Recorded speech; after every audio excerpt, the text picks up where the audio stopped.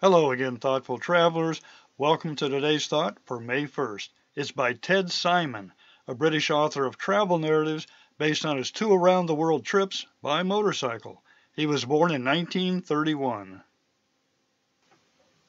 Everything worth thinking about has already been thought about by men and women traveling in sandals with sticks.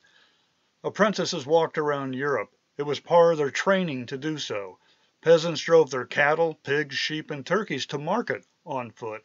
Religious processions, pilgrimages, and crusades were always made on foot. So what are your thoughts on today's quote? Here's mine.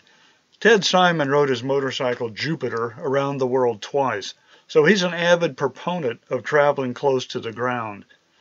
In this quote, Simon is advocating walking everywhere, which is a lot slower, but provides even more intimate contact with the people and places you visit.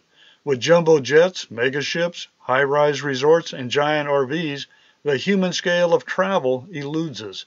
A long walk around a destination or a trek that lasts for days and weeks will not only provide you with great exercise, but also a unique perspective and an opportunity to linger a while in the special places you're certain to discover. Now here's a list of all the sources quoted in May.